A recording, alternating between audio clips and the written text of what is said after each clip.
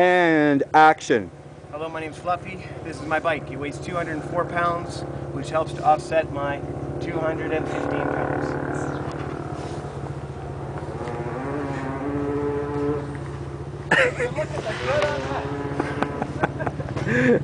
what can you say about the 200? Uh, I could say it's light and nimble like a flea in the hands of a much better rider.